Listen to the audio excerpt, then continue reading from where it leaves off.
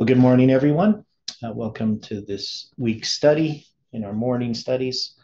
And um, we're going to continue uh, laying uh, down this line of Samson. But before we begin, can you join me in a word of prayer? The dear Father in heaven, thank you for the time that we have to study each morning.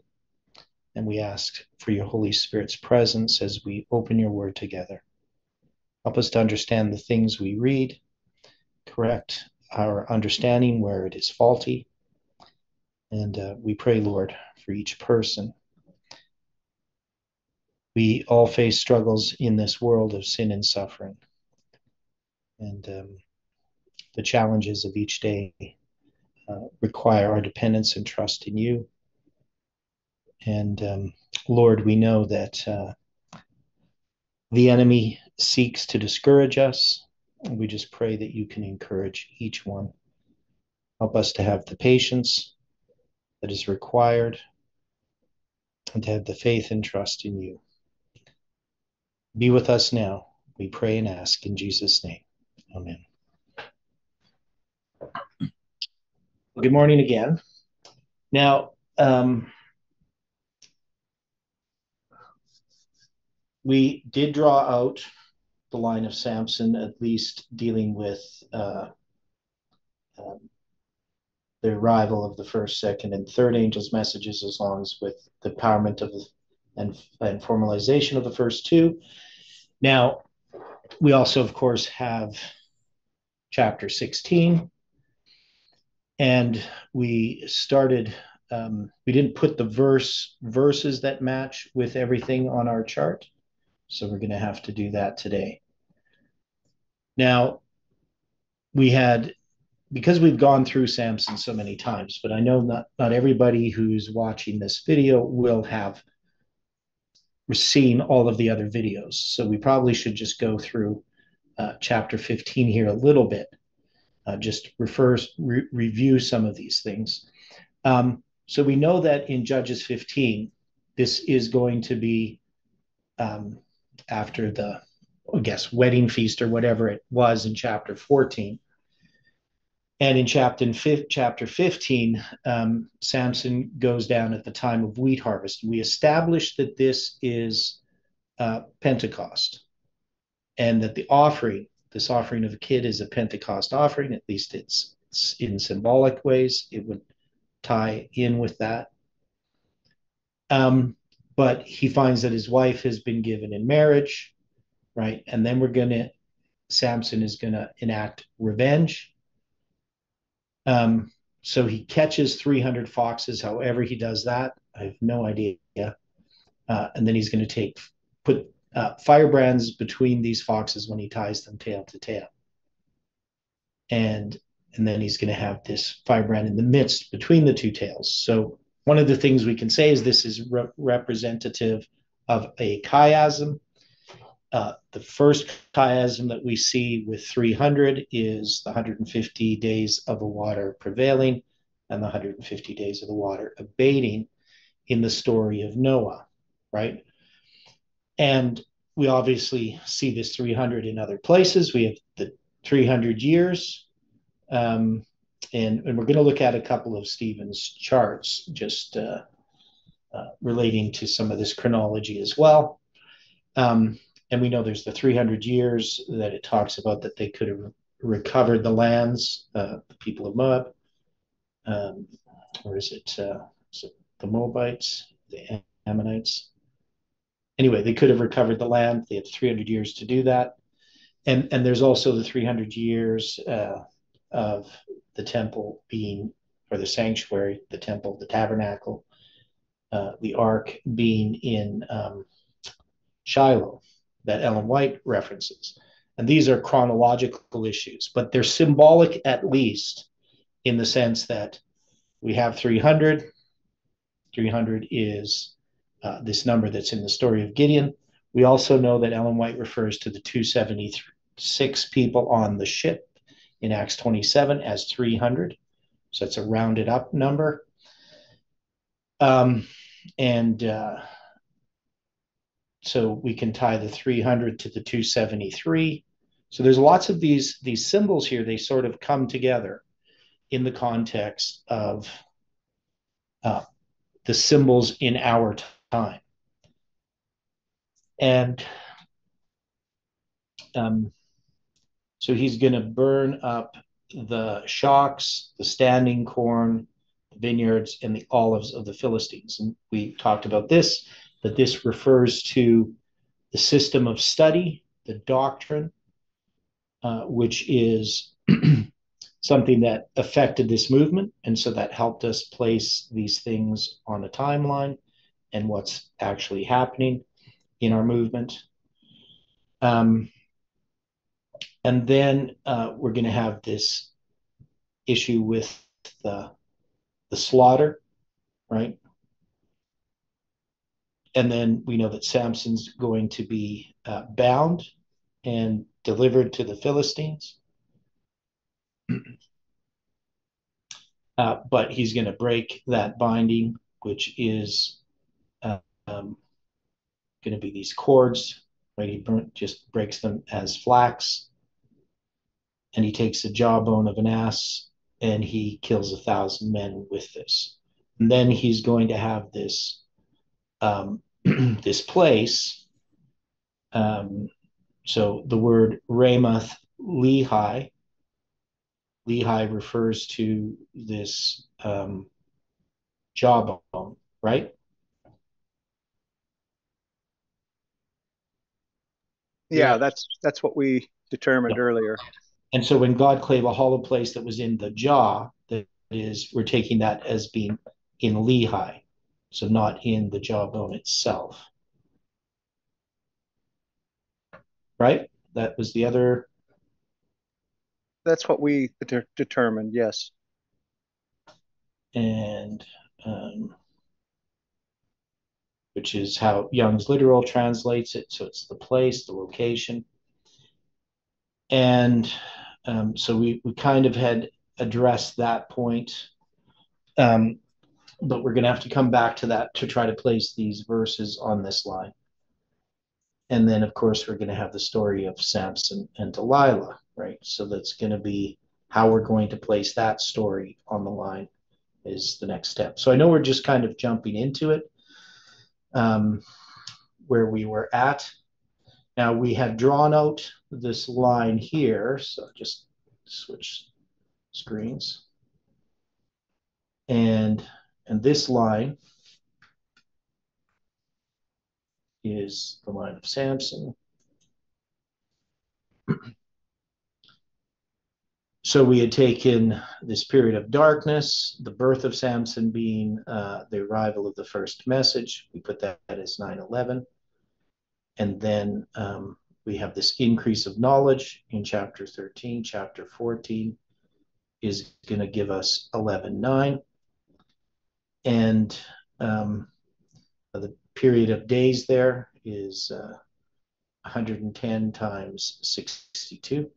So whatever the number was, 5,000. Uh, number again? It 6,634. 6, That's what it was. Uh, days from September 11th to November 9th, then the 252 days. Um, but we haven't put place the verses there. So how do we how do we get that the first angel is empowered on July 18, 2020 in this line of Samson, and what verses would we use to do that?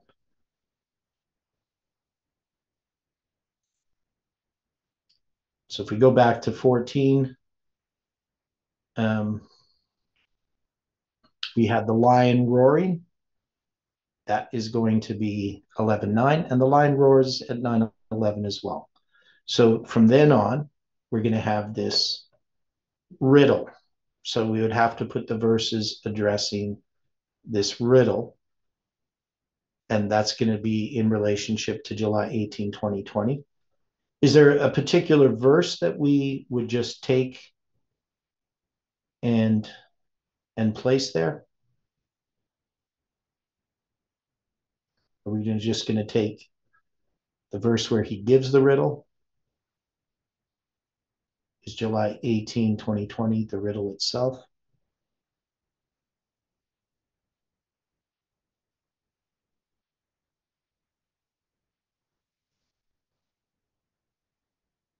Because that's going to be Judges 14, 14, the riddle.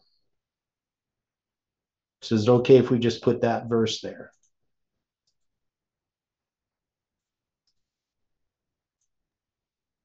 Well, it would be great to put that verse there. Now, the, the question that I would have, given the numbering of the verse, it's a doubling.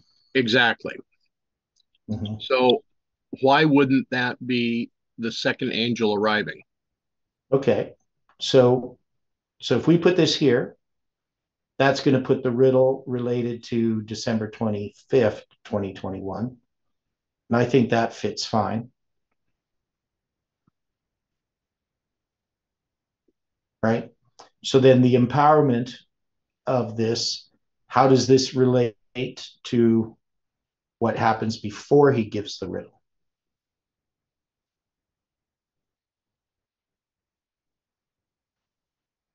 And how would we connect that to July 18? Now we know it's hidden from his parents, right? Right. So is there anything we can do with that?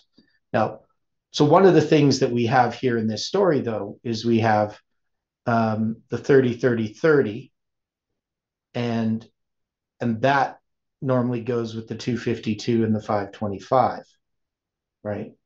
So when he gives this riddle, he's going to lay out these conditions.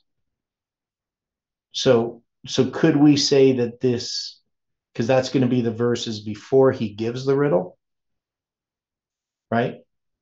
So can we take um, judges 1411 to 1413 as being the empowerment? That is it came to pass when he saw him that they brought 30 companions to be with him.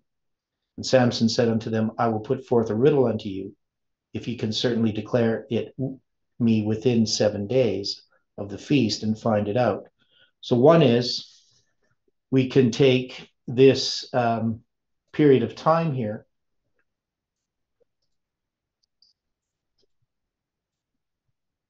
and can we can we liken this period of time to seven days now of course i know that the riddle is going to be given at the beginning but just as a symbol, we have the 30, 30, 30, right? And we, which gives us, divided by 12, gives us these numbers. But can we put this here as seven days as a symbol that represents the 777 structure? Well, that's in 412, 1412, right?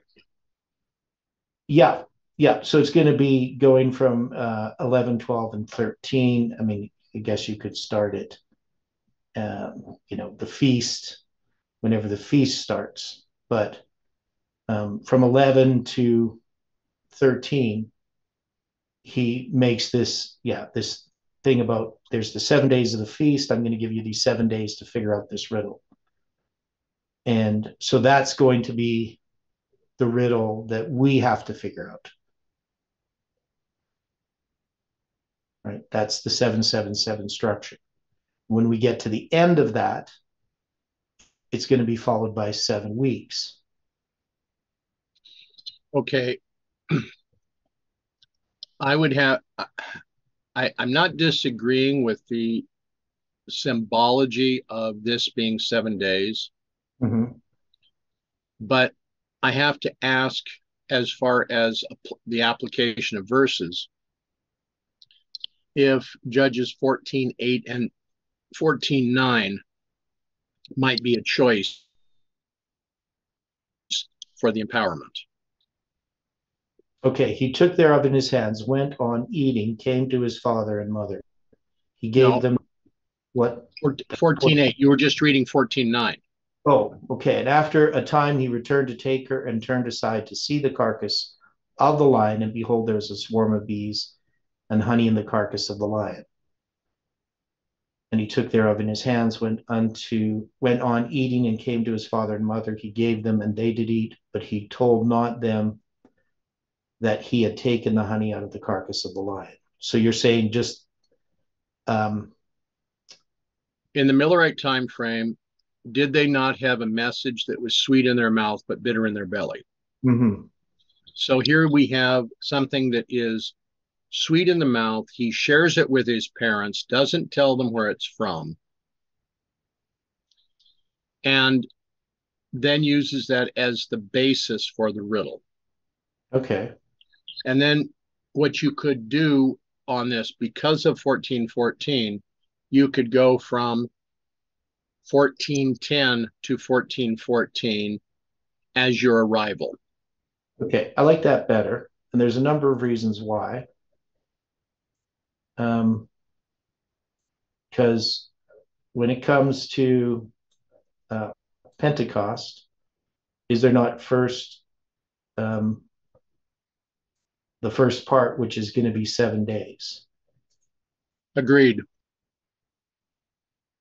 Okay, so we'll go like this and do that.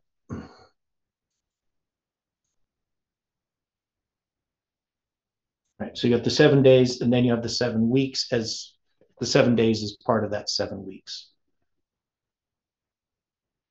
I mean, you could say it's the eight days of the Feast of Unleavened Bread, depends how you count it. Um, right?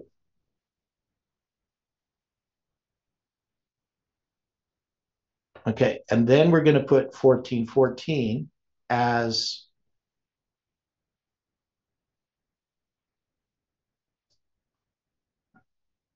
are we where are we going to put that? So um, I'm going to do this. So you're saying that this first part, this is 14 verse 9 and 10?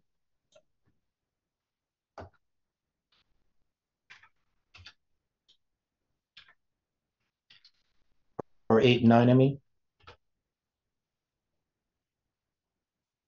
And then you're going to have that. um, you're going to have, no, I guess I could have left that there.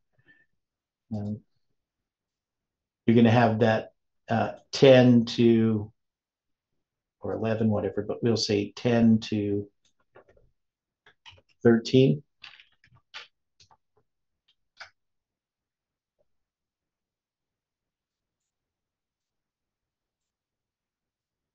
That make sense?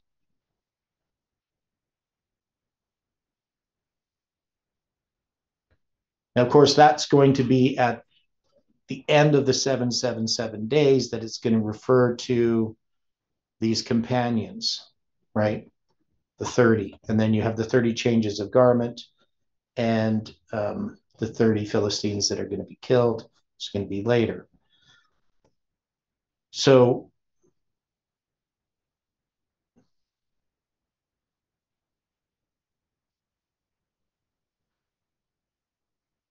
Does it make sense having that at the end of the 777 structure?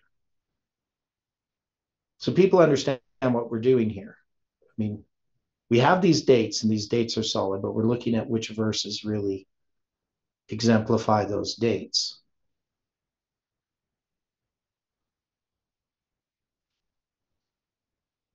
Any thoughts?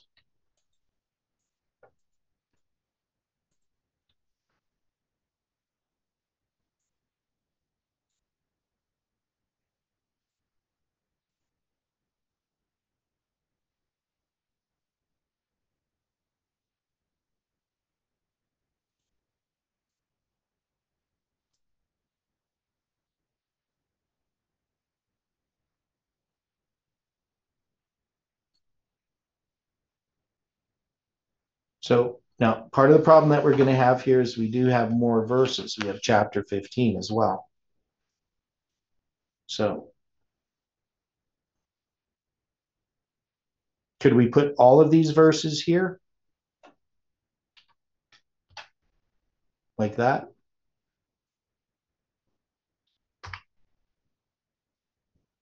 Shouldn't have done that because I'm gonna need that. But anyway, people understand what I'm asking?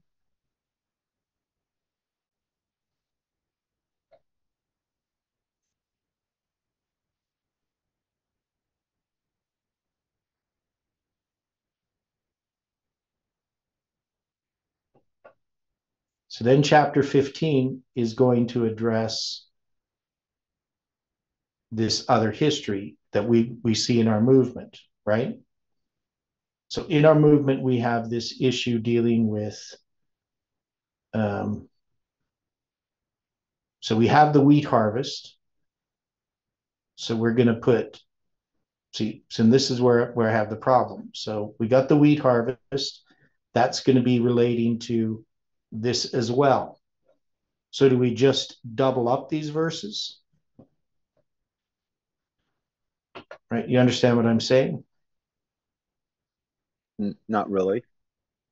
Okay. So when we get to chapter 15, it's going to address that wheat harvest. So we've already covered it in chapter 14 by putting these verses here. Now, maybe there's some way that we can combine all of those. So we have that seven days. It overlaps with the wheat harvest, right? So normally what I would do is I'd put 15.1. Oh, I guess we can do this here. So 15.1 is going to be here. That makes sense.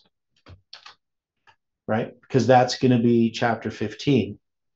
That's going to be Pentecost.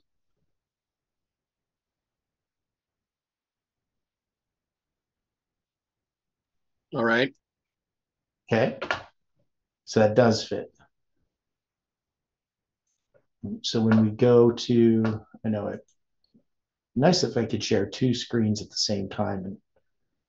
And uh, there's probably a way to do this. okay, so we got 15 ones. We have the wheat harvest, that's Pentecost. And so that's going to be the formalization of the second message. That is, if the second message is going to arrive at the beginning, so we're going to say that that where it begins is the wave sheaf offering. That seven days there represents the first seven days of this 49 days or 50 days, right? Of this seven weeks.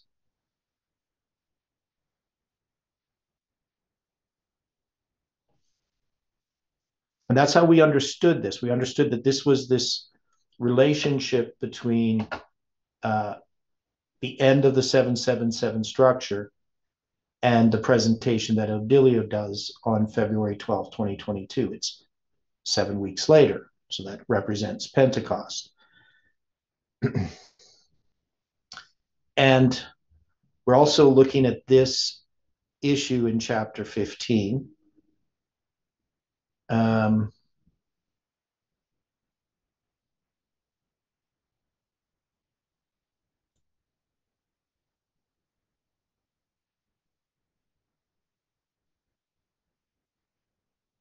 so what's gonna what's gonna end up having here with the 300? How are we gonna place the 300 in here now?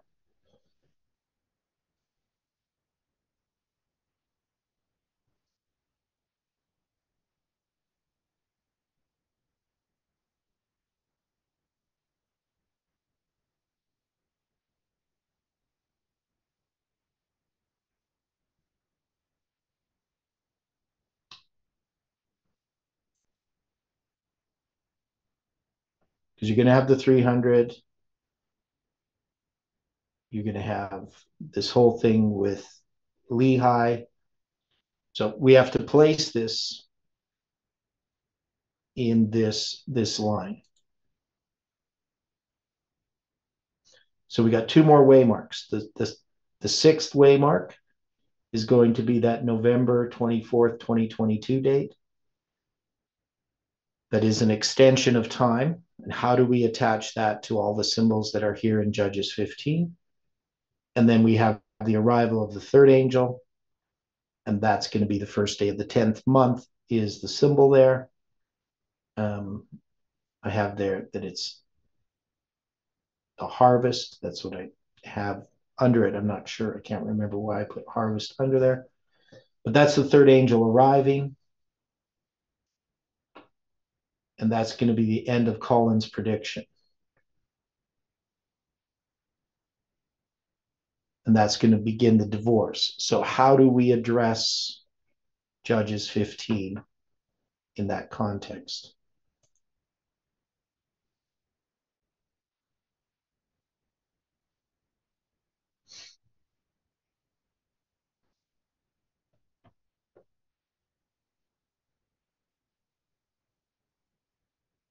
Now, when we did the line before and we had judges uh, 15 placed on a line, we had placed this at the first day of the 10th month. So I'll just go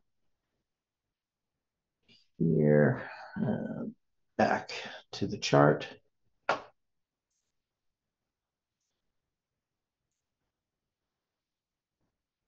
So we had put the 300 foxes at January 11th and December 25th, 2022. Now remember, the whole story of Samson is a zoom into those two dates. Right? Correct. Okay. So so we have this symbol of the 300 foxes that lie on um, this first day of the 10th month. So we're putting the first day of the 10th month as that that symbol. So that's going to be, I'm just going to do it this way here.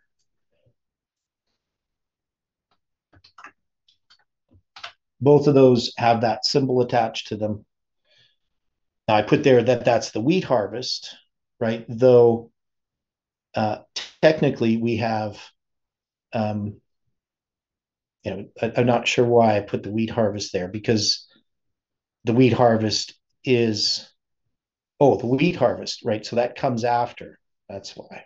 So we got pentecost. Oh and um yeah so why did i put the wheat harvest there? I can't remember. Okay so So the 300 foxes, I mean, the way that we've placed it up above in that line, that was going to be wasn't a way more like it wasn't the third angel arriving, but we had the 300 foxes attached to those two dates that are there. Uh, right. January 11th, 2023 and December 25th, 2022. So we have them down at the bottom as the first day of the 10th month as the third angel arriving. That's where we place them.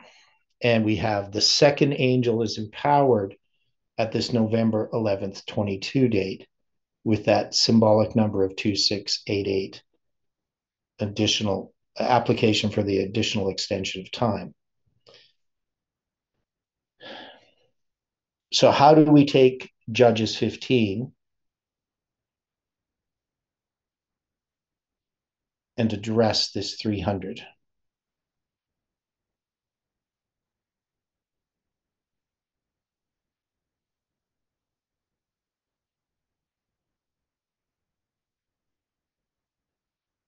Any thoughts?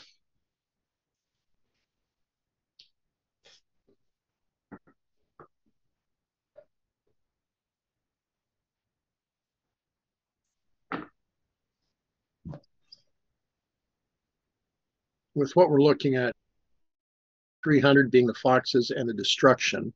Yeah. So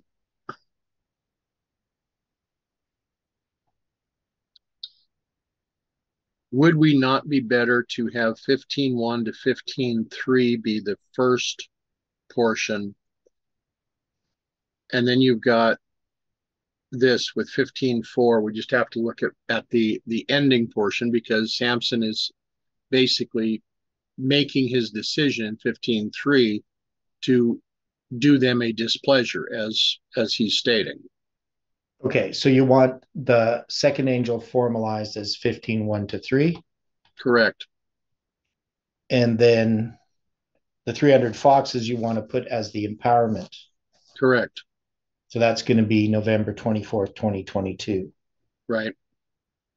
Okay. Um, it, it, it's just a thought.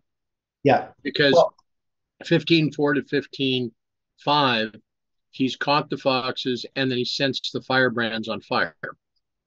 Okay. So it becomes light.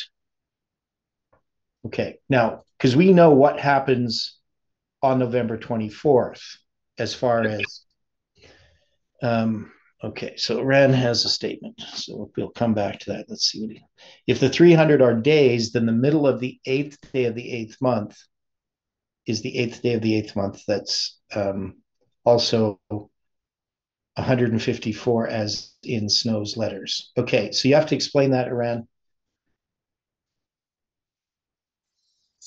uh well for the first part I guess you know you'd measure from Pentecost for the beginning of the 300 days. And then okay. the one for the 154, that's kind of different. That's talking about two periods of 77 days, I believe.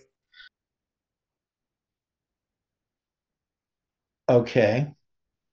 So you're saying if we count from Pentecost on the biblical calendar, 300 days, you come to the eighth day of the eighth month.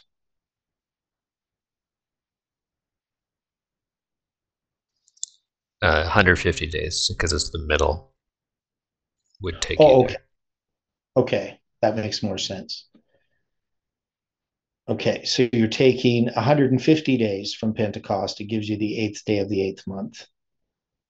Now, the 8 8 becomes a symbol of the 88 days that go from um,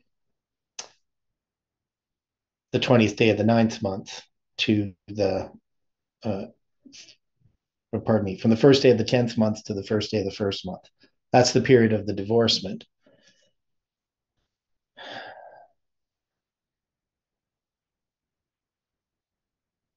I'm sorry, 88 is the number of days for the divorcement. Is that what you said? Yeah. Yeah.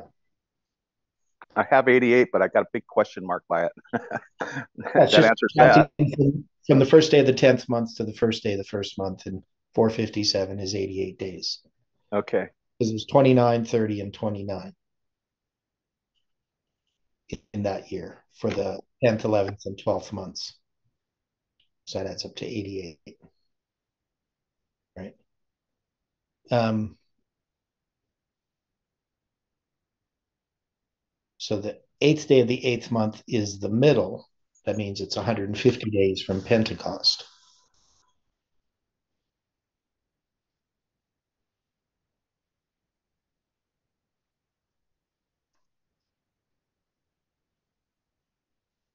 So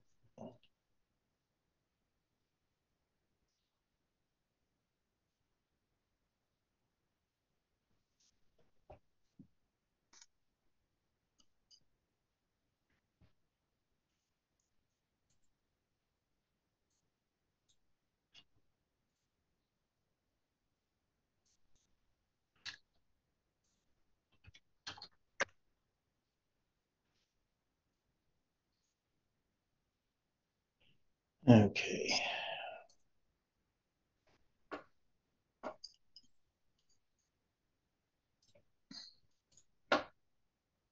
Okay, so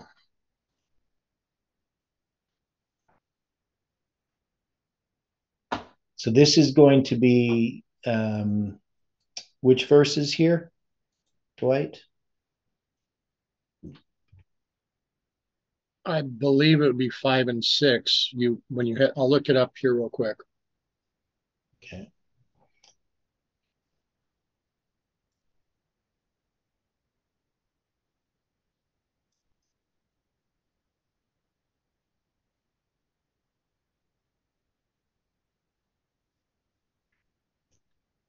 Hmm.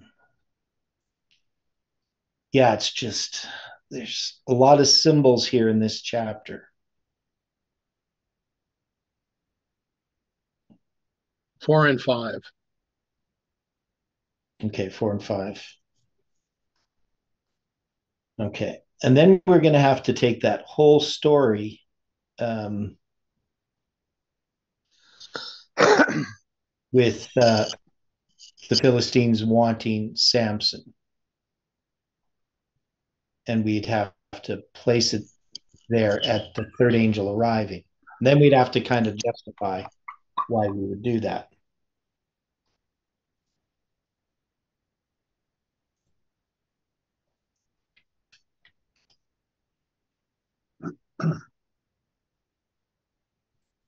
Okay, so because when we look at these two dates, uh, December 25th, 2022, we know that's where we're going to start uh, this this new study on the lines simply presented. And then we have, of course, January 11th, the end of Collins' prediction. Uh,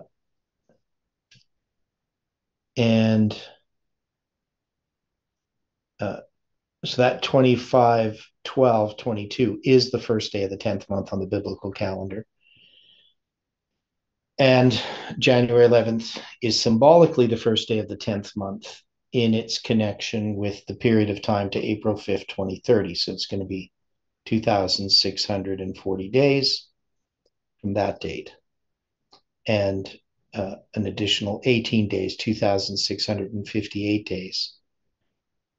And then when we take into account the November date, that's going to be 2,688 days. So you have this, these are, are things in our line connecting us to April 5th, 2030, right? That's, mm. so that's, that's how we see this part of this story.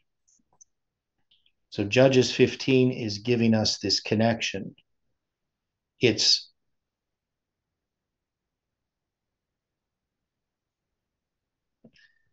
and, and it's tying us back to Ezra chapter uh, 7 to 10, right? Specifically, chapter 10.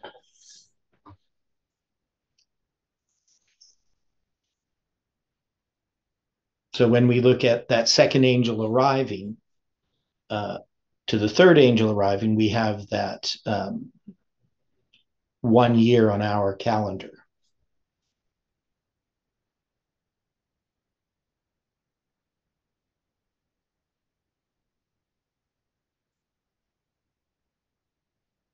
So we're going from biblical date, the 20th day of the ninth month.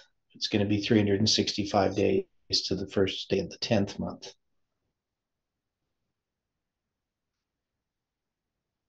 But in that whole story of the third angel arriving, so I think what we, you know, it's not just the third angel arriving, though, right? I mean, that is in the in that when the third angel arrives, there is a bunch of history connected together, right? You understand what I'm saying? In Millerite history, the third angel arrives. But then you're going to have this falling away, right? That happens after the third angel. And when we look at the fourth angel arriving, we can look at this as two different ways. So in Millerite history, you can look at the third angel arriving as being October 22nd, 1844. And the fourth angel arrives where?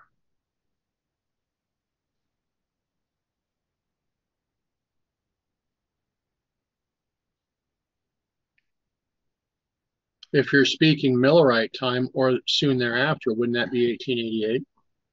Would normally be 1863. Okay. Right? Because that's a rejection of the second angel. Right. All right. So so so we could do that, or we can say it's 9-11.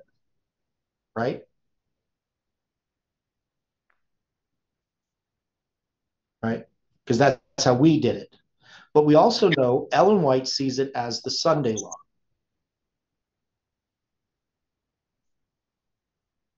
So, so when we look at this waymark, April 5th, 2030, so one is we have it as time within our line.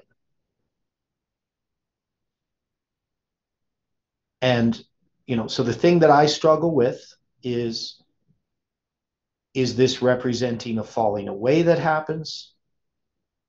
And if it's a falling away that happens in Millerite history, it's going to be 1863, right? Now, 1863 produces the 1863 chart, but it also establishes the Seventh day Adventist Church and marks the end of a prophetic mirror. at least that 2,604 year prophetic mirror that's represented on the chart. So, you know, what we don't know is is what's coming as far as, you know, this movement, how it's how it's going to unfold, uh, how much time is involved.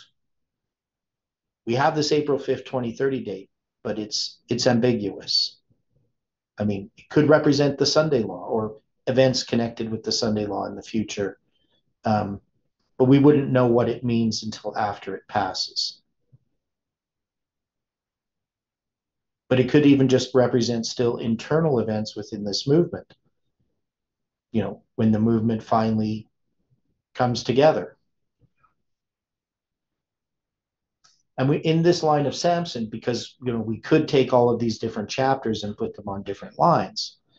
Um, you know, we're kind of saying, well, all of these chapters fit on this line, but this third angel arriving is chapter 15, at least part of it. But this is going to be addressing the problem with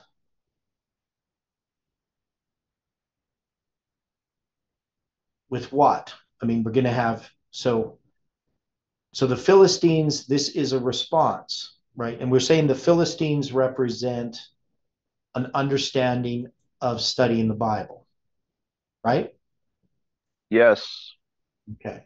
So you know, this isn't about people here. This just, I mean, people are connected to messages but they're going to be saying who is who has done this right they answered, Samson, the son of son-in-law of the Timnite, because he hath taken his wife and given her to his companion, and the Philistines came up and burned her and her father with fire. So, so when we look at these symbols here, um, Samson is still seeking vengeance.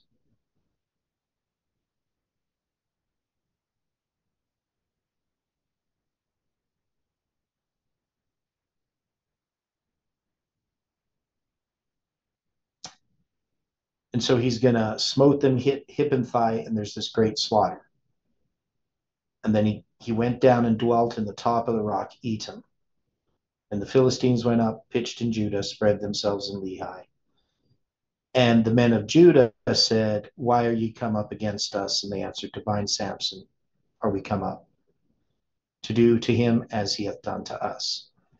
And so there's 3,000 men of Judah that go unto the top of the rock Etam and say to Samson, um, Knowest thou not that the Philistines are rulers over us? What is this that thou hast done unto us? And he said unto them, As they did unto me, so I have done unto them. So this represents something in our movement, in our message. It's a message in our movement. And this message allows itself to be bound right? Going to take this symbolism here. But it's not going to hurt the men of Judah, right? Um, and Samson's going to be delivered into the hand of the Philistines, but he's going to break his bands. And he's going to take this jawbone of an ass, a new jawbone of an ass, and use it as a weapon. He's going to kill a thousand men with this. Uh, we have this doubling heaps upon heaps.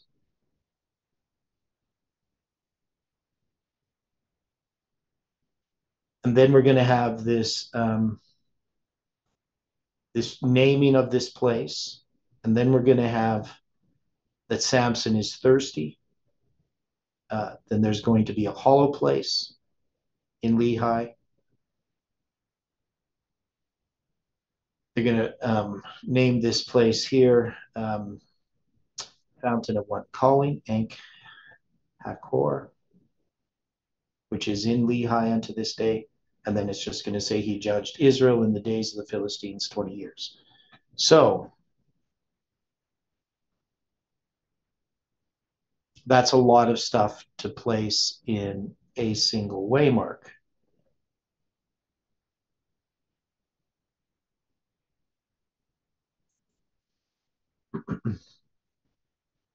Because there's so much symbolism there.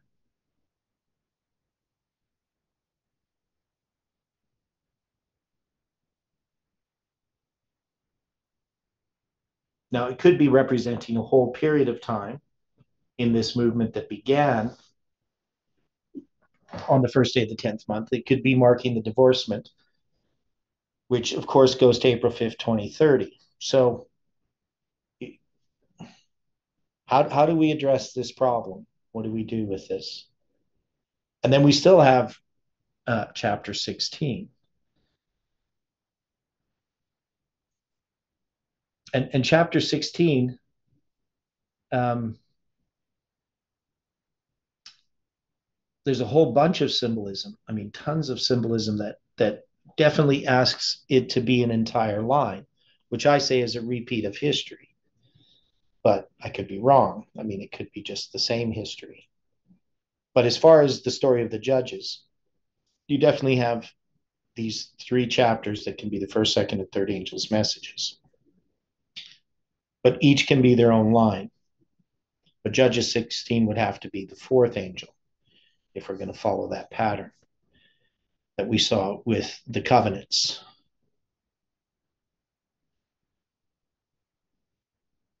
Any suggestions of what we should do with this?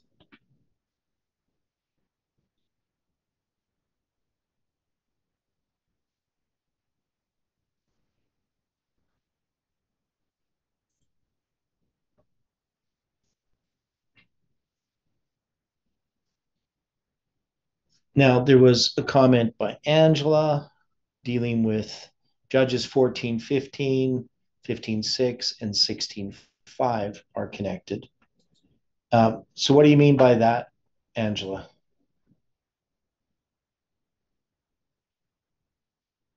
Because you got the seventh day, the riddle. Yeah, and there's an enticement, there's a burning. You know, like they they threatened Samson's wife with burning if she didn't reveal the, the riddle to them. And then they mm-hmm. fulfilled it. Right. And then and, there's an enticement again in 16.5. So I just saw the ties. Whether they mean anything really important, I don't know, but I just Okay, well, well, well, I think they do. I mean, that's one of the things we can see is that each of these chapters is is repeating a line. Right? Yeah. So I mean, that's why we originally just dealt with each chapter as a line, that we never drew out a line for each chapter, which maybe we still need to do. But um, because I know I'm going to at least uh, try to figure that out at some point. I think that came into my mind too is I keep thinking of Judges 15.1 and the 151, and I thought, well, that's 1863 to 2014. Does that fit anywhere? I don't know. These ideas come into my mind. I need some corroboration because. Okay. Well, you bring up. The foundation you have. so you bring up 2014, and um,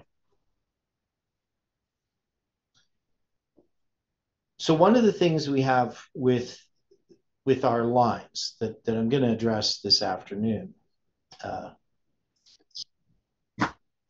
is that um, 2014 is an important waymark in our lines that we just generally ignore. And um, and in understanding our lines, um, like 2014 uh, was marked various ways at different times. So one is it was the prediction before midnight. Uh, we placed May 2nd Samuel Snow's letters there. That's what was done by Tabo, which was really blessings. Um, and then we had uh, the July Samuel Snow's letters come up, right? And and we had this 2014 to 2017 connection. And what we didn't understand is where we were in these lines, what line we were looking at a waymark in. Now, 2014 um, can be marked on different lines as a different waymark, right? Just like any waymark can. It can have uh, a place. So when we're dealing with, and so we're going to deal with that this afternoon. I'm not going to deal with it now. But when we're looking at these these lines of Samson, and we talk about, well, we have a line, and it's just we zoom into a waymark, and we get this line of Samson. Now, the way that we've understood that is we're looking, we're zooming into this waymark that we call the first day of the 10th month. That's on our line of the judges. That is, it's the third angel arriving. And and yet Samson is a very complex line because there's lots of lines here. Um, so if we're saying that this is the third angel arriving, it, it's actually the whole purpose of this line is to illustrate that third angel arriving. And it's doing so by taking the whole story of Samson. And so we end up with these different waymarks in this line that are all, all about the third angel arriving. That is, that is the whole point of this line, the darkness in this line that leads to this light, has to do with a problem in our understanding of how we study the Bible. That is, there's a Philistine understanding of the Bible, that is, the Protestant understanding of the Bible. Now, the thing that I find troubling, maybe is not the right word. Um, but I'll just I'll just say troubling. Um, we have we don't realize how much we're like those that we envy. And the way that I would understand it is that um, many in this movement are envious of the church. Huh. What's that, Angela? Oh, I just started laughing because I just don't see it. I mean, I'm thinking of, I don't envy the church at all. I pity the church. I have contempt for the church. I'm extremely disappointed in the church. Yeah, but well, that's not what I mean right? So can you yes, could you please try to explain what you mean because I'm having troubles con- uh, okay. So I'm just, this. I'm going back to my experience as a Seventh Day Adventist. That the people who are the most critical of the church, and that's and this movement is very critical of the church, right? That uh, much of that criticism comes from envy, not from knowing wanting to do what's right. They would want to be in control of the church. And I've seen it happen. I've seen people okay. who were critical of the church, but when the church drew them in, um, and they they they they got power in the church, then they were worse than the than those that they criticized. Or even if the church didn't draw them in, they acted worse than the church when they had their own movements, when they had their own churches, their own organizations. Right? So they could criticize the church. He that judges another man does the same thing. The thing that we often are so critical of represents something in our own heart.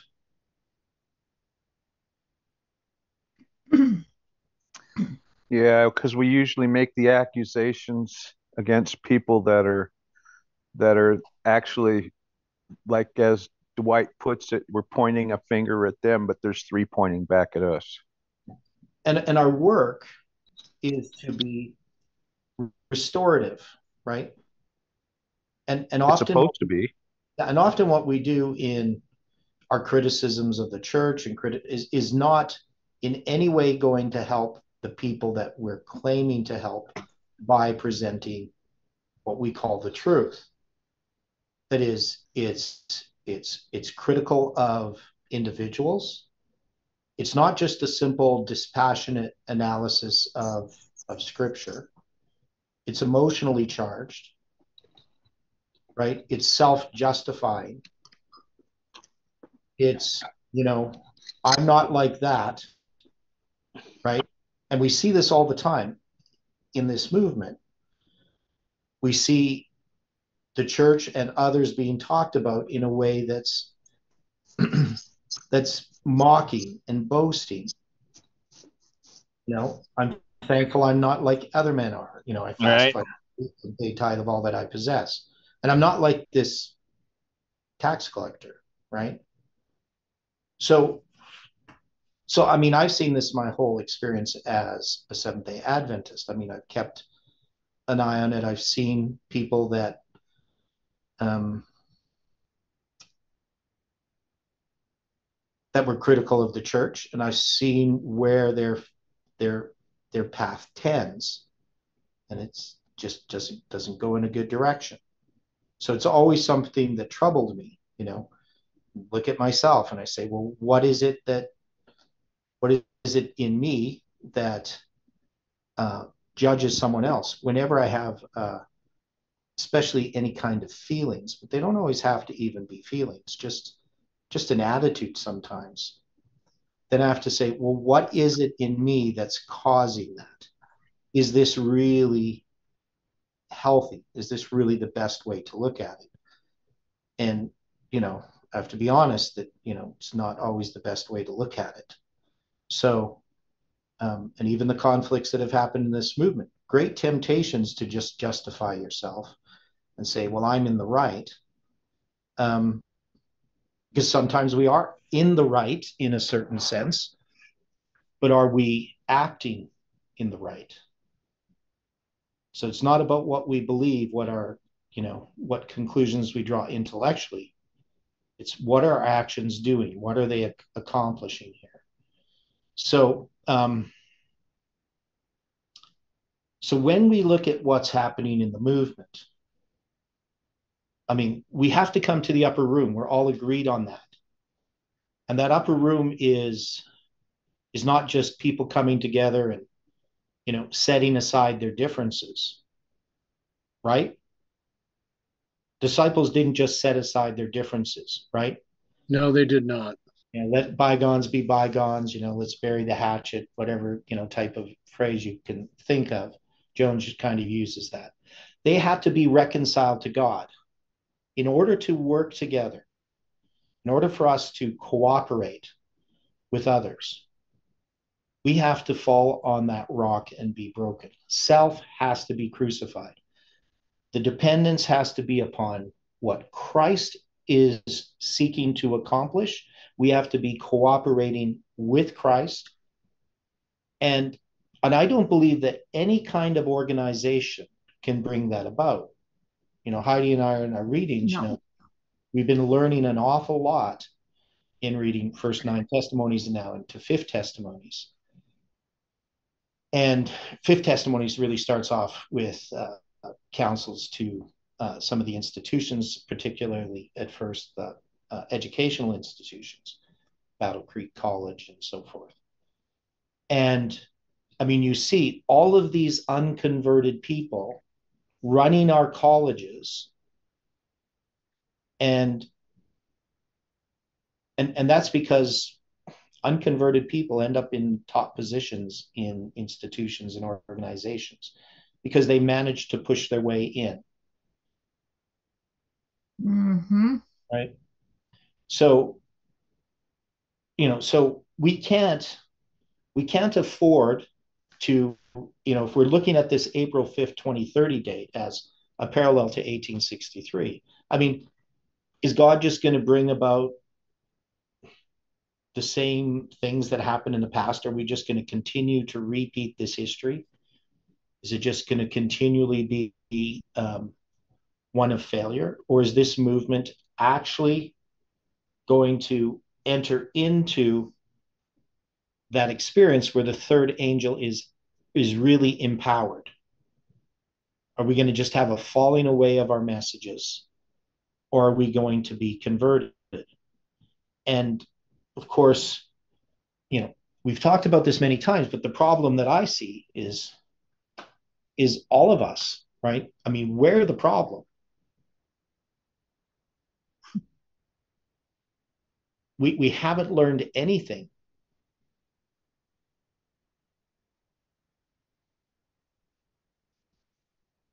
So how are we going to to actually learn? What is God going to have to bring about in this movement for us to learn anything?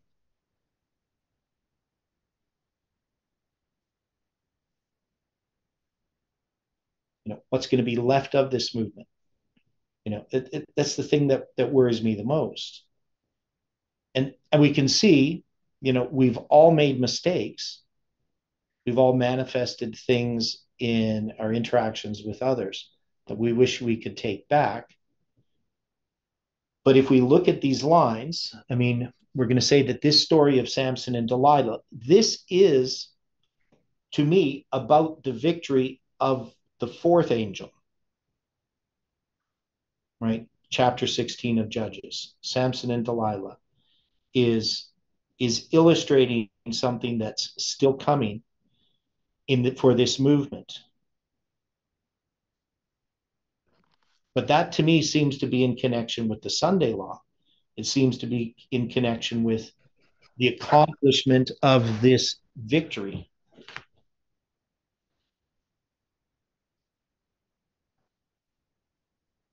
And, and we can see this. So when we, we go to chapter 16 here and we're looking at this, and when we looked at this before, we're going to have this gate of the city. You know, this is going to be set upon a hill. So this movement, what everything that we have learned, right? And Samson lay till midnight and arose at midnight and took the doors of the gate of the city, the two posts, and went away with them, bar and put them upon his shoulders, and carried them up to the top of an hill that is before Hebron is this movement going to actually accomplish its task? Taking these truths, all of these things that we have learned from the scripture, all of these prophecies, and are we going to be able to set it upon a hill?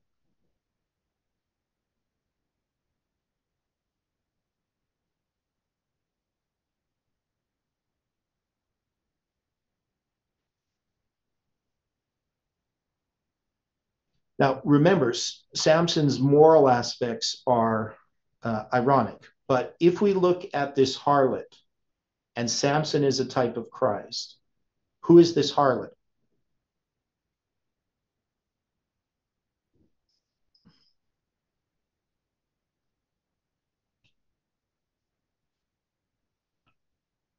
All the souls that need Christ. Okay. Yeah, this would this would be the church and the church is a harlot. no kidding. Yeah. It's an unfaithful wife. It's an right. Yes. Yes. So so Christ is coming to to save his people. And this is of course Samson is also a message, but he is a type of Christ. And so even though he's this bad character in some ways, morally, um, he's representing something good. And this is going to be, even though he's going to go through this whole experience, ultimately in the end, it's his victory. Right? So he's going to midnight, we're looking at midnight.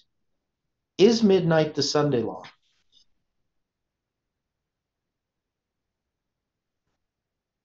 I know it's a bad question.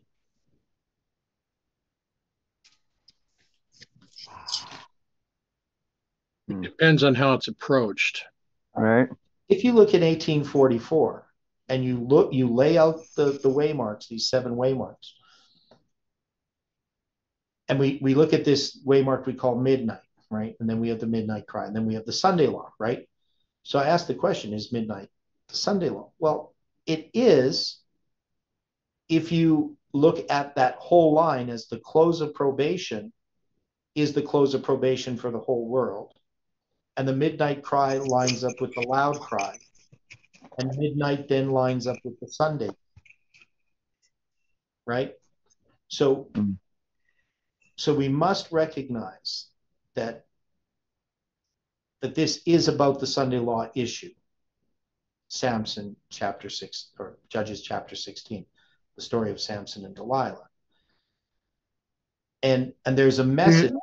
I'm sorry, Theodore. Yep.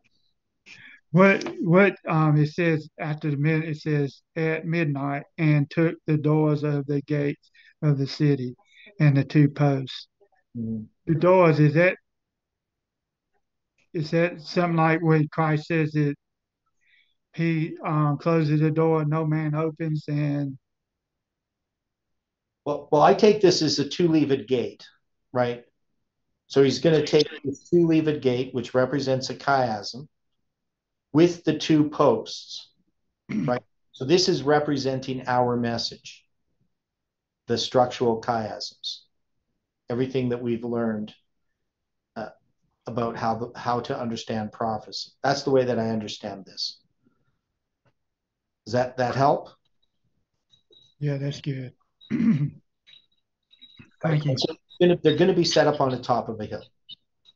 So in these final events, in these last days, this message has to be set upon the top of a hill.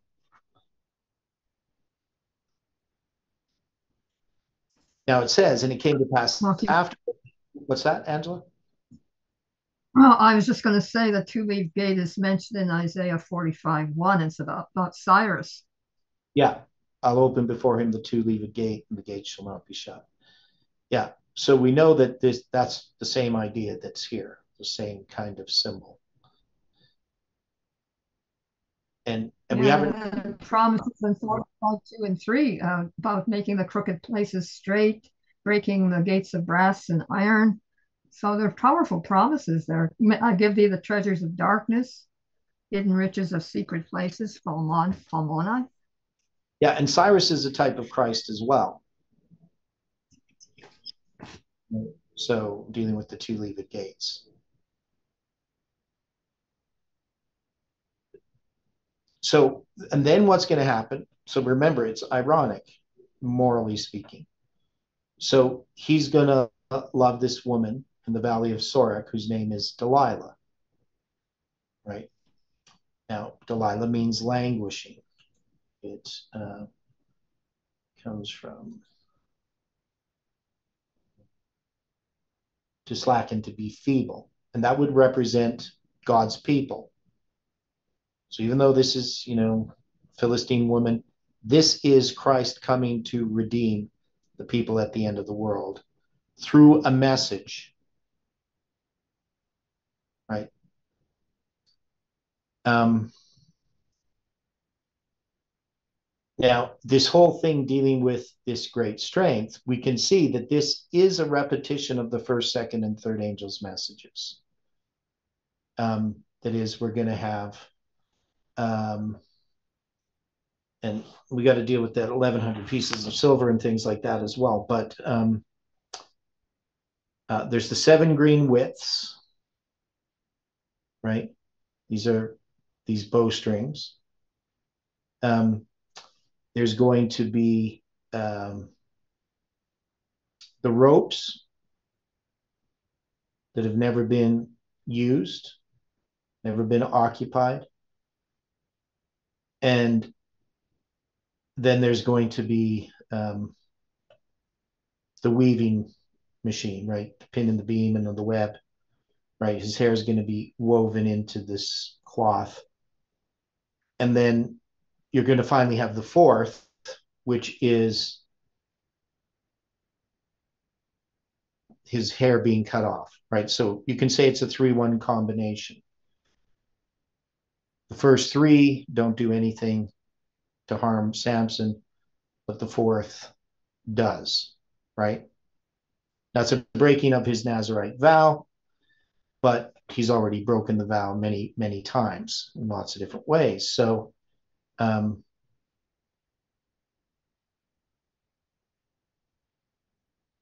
so then he's going to be captured.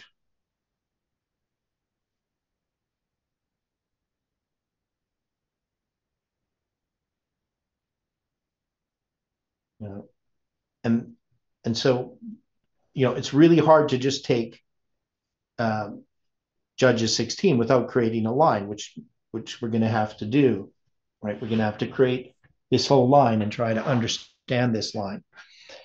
But it has to be the fourth angel, and so the fourth angel contains a repetition of the first and second, and and in some ways this line chapter creates the line over and over. That is, it's repeat and enlarge.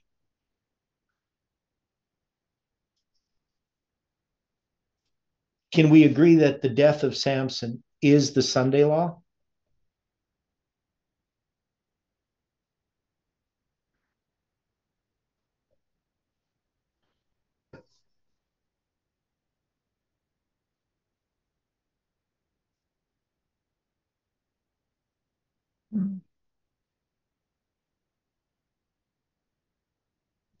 If, if it's the Sunday law, how can we say the death of Samson is the Sunday law?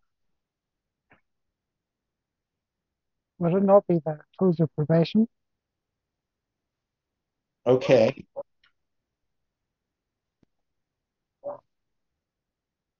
Okay, explain.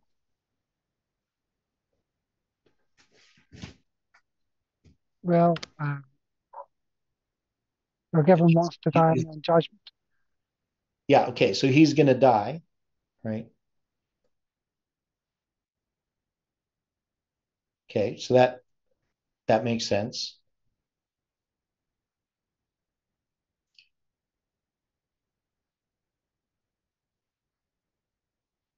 Any other thoughts? And we can see that there's going to be 3,000 men and women um, on the roof, right?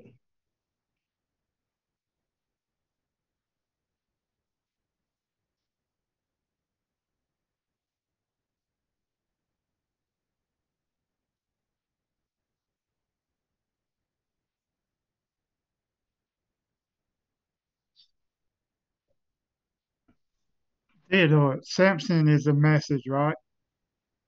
Yep. Where if he if he dies, does that kill the message? No. No.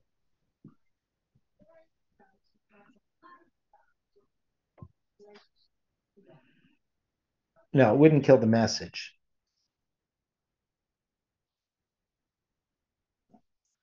You know, Samson accomplishes his mission, right? So in in some ways, I could see how this would be uh, the close of probation. But there's a lot attached to this death of Samson. Because what we see is we have this, to me, this is uh, Elijah on Mount Carmel, but you know, it's a bit more ironic than that, right?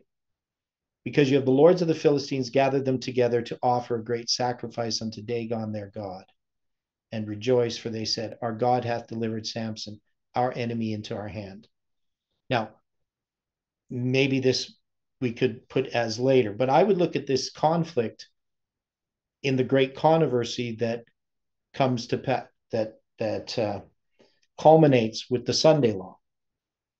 But maybe this is the Sunday law that we would call the the death decree Sunday law you know, happens after the close of probation.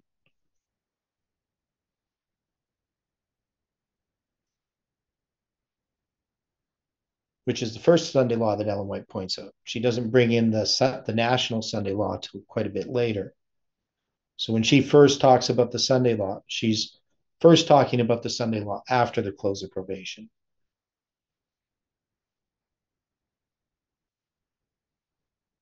And later she brings the Sunday law before the close of probation.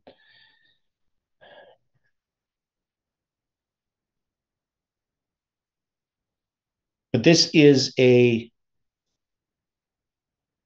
a conflict between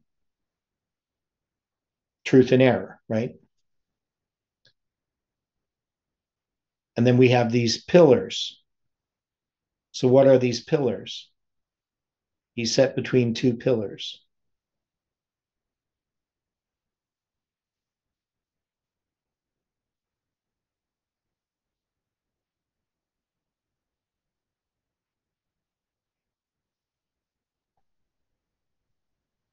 As I believe as we talked initially, the truth between two pillars is the fact that pillar one was Sunday sacredness, pillar two was the state of the dead.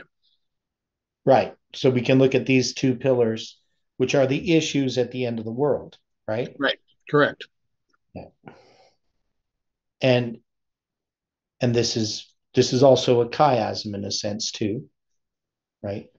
With this message in the center. So you can see there's so much in this story of Samson, right? To just, you know, to take chapter 16 and just say, well, you know, that's the fourth angel arriving. Uh, I mean, I really think we have to draw out this line and we have to we have to finish each of these lines i think as individual each of these chapters as individual lines but but i think that this this chapter chapter 16 at least contains three different lines repeating um, this history in some way. You know, maybe we could put it all into one line, but I, I think there's more than one line here.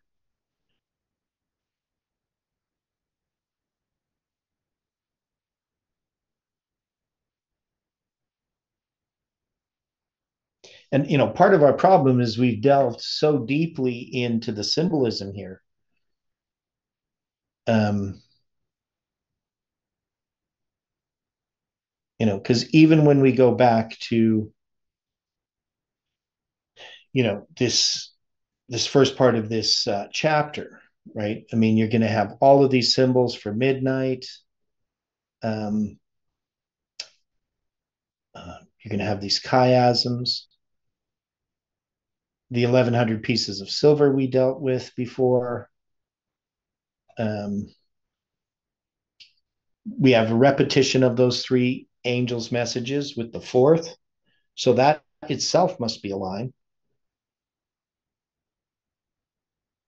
You know, and how do we place that? Do we just place it? Where is that line in our history? Like what events, what dates are being marked? And, and do we just look at it in a very narrow sense? Do we bring it out uh, representing our entire line? And, and then we have to remember that, that this fourth angel arriving, we're placing around the April 5th, 2030 date as this waymark, which we don't know what it means yet, other than it's the end of the divorcement and it's uh, represented by this application for the additional extension of time.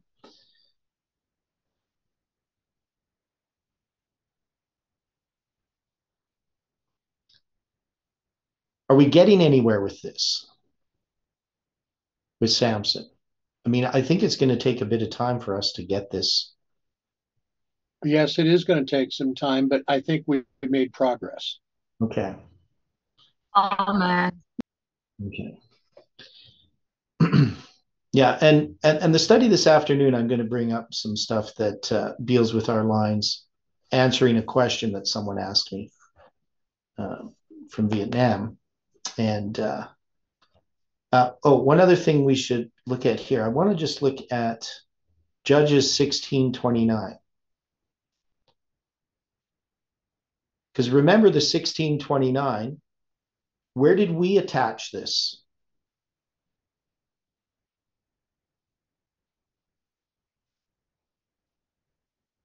There's 1629 days and 1629 weeks. And we attached it to what date?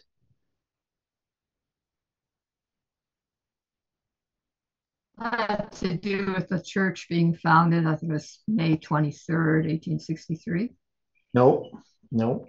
No. But it has something to do with the um the books that were new books of order in 19 in 1620. No, no.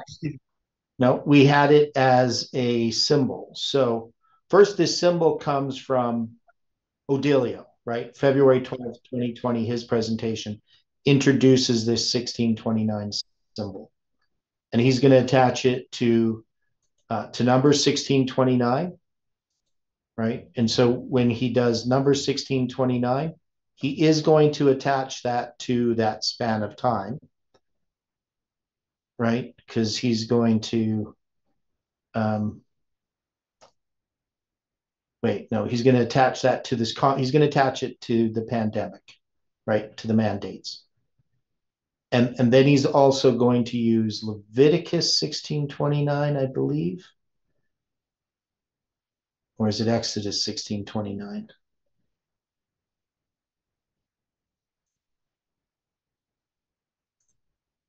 So um, well, maybe both.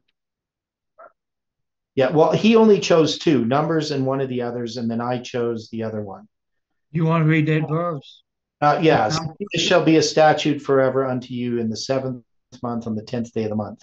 You shall that's in that's in no, number sixteen. No, sixteen twenty nine uh, in numbers. I'm reading Leviticus right now. Oh, I'm sorry. Okay um, shall do no work at all, whether one of you be of your own country or a stranger or sojourners that among you. Uh, this is going to be about the Day of Atonement. Um, and then Exodus 16:29 was um, see for the Lord hath given you the Sabbath, therefore he hath given you this in the sixth day the bread of two days. Right. So this is going to be in connection with the first time that the manna is given and um, the number 1629 was the one dealing with whether they die the common death of all men. So he was trying to attach that to uh, to the mandates. Um, so where this is about Korah, Dathan, and Abiram in their rebellion, right? So I didn't quite see his connection there, but he was just dealing with this death part of it.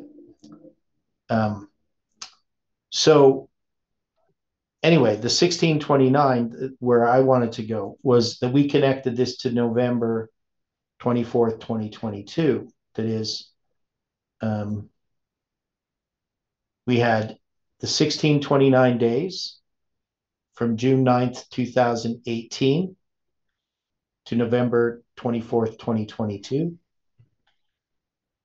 And then the 1629 weeks from November 24th, 2022 back to 9-11-91, the, the misdated uh, world New World Order speech of George Bush that was actually um, 12 days later. That was September 23rd, 1991, that he actually made that New World Order speech. Um, now, there is the New World Order speech on September 11th, 1990, one year earlier, right? um, so there's all of these. Uh, these this 1629 deals with November 24th, 2022. The point is this um, 1629 in Judges, and I'm going a bit over. Thought it'd be quicker. Uh, so the 1629 in Judges is um, these uh, Samson took hold of the two middle, middle pillars upon which the house stood and on which it was borne up, and the one in his right hand and the other in his left. Now, what does this remind us of?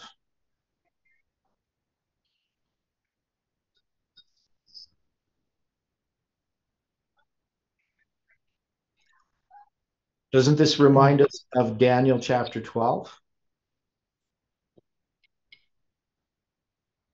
Good point. Right. So I think of that, and of course, Revelation chapter 10.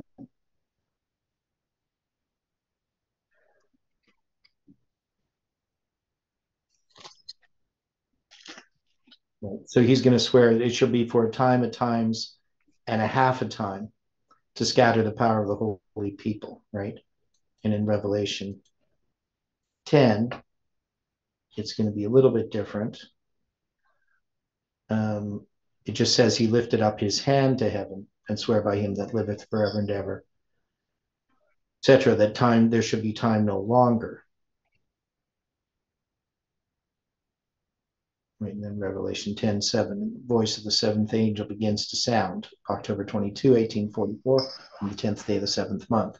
So, um, to me, there's a tie here between um, all of these things in the story of of Samson that we have to we have to really sort out. Um, so I don't I don't don't have the answer to it. All I do know is that this line of Samson is going to lead us to April 5th, 2030. We still don't know what that means. Okay, so that should be good. Any final comments before we close with prayer?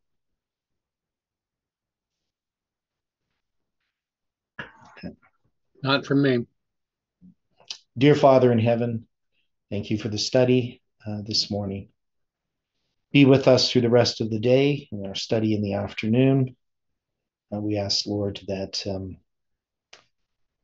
you can help us to understand these things that we struggle with and that they can give us strength, power, conviction in our personal lives as we uh, battle with the forces around us seeking to discourage us. And uh, we pray for one another. H- help us, Lord, to be encouraging. And um,